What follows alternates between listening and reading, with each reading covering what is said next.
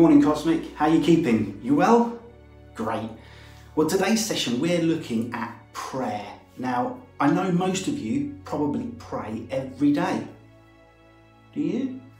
Well we're going to read a verse from the Bible which hopefully you've read with a grown up. If not you can read afterwards.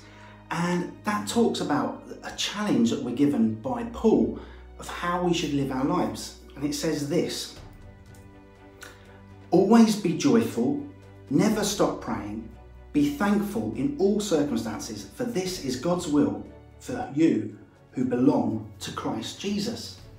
Now that might seem weird because when we're talking about prayer, you think, well, why have I talked about the other things? Well, they're all linked and they're all important. You see, we can't always be happy.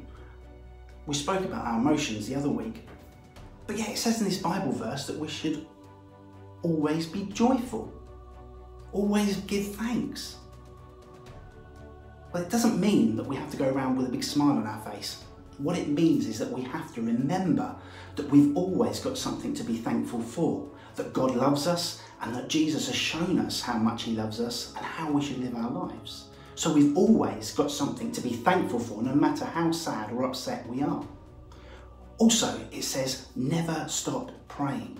And that's what we're looking at today about how we pray.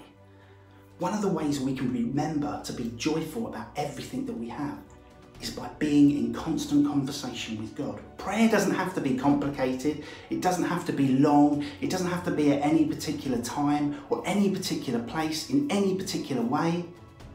You can pray to God anytime and anywhere and any way that you want to. It's just like having a conversation with a friend. It's just like me talking to you through my phone. It's just like this. See, we can talk to God all the time. And the reason it says to pray continually, to not stop praying, is because God doesn't want us to get out of um, a practice of talking to Him. If we only do it at certain times and we forget, it's very easy to not do it at all, isn't it? We all forget. But if we're talking to God all the time, then we're constantly reminded that God's there for us, that He loves us, and that He's got a plan for our lives. And that means that we'll always be able to give thanks in every circumstance. Just like we have something to be joyful for, we can give thanks to God that He's there, that we're talking to Him, that we can hear from Him if we're still and silent like last week, and that He has a plan for us, and He's shown that.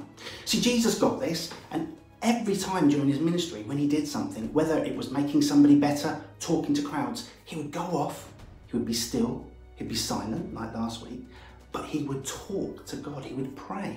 He would give thanks for what God's done. He gave thanks before he gave out um, the miracle of feeding the 5,000. He gave thanks when people were healed. And he always took time to tell God what he thought.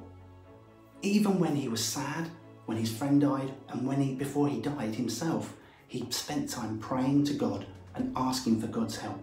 Even when he was crying, he wanted to give thanks to who God was and what he was going to do.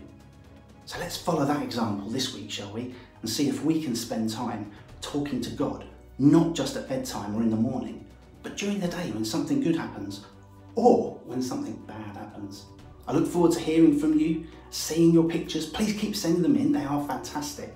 And until next time, God bless. Bye. B,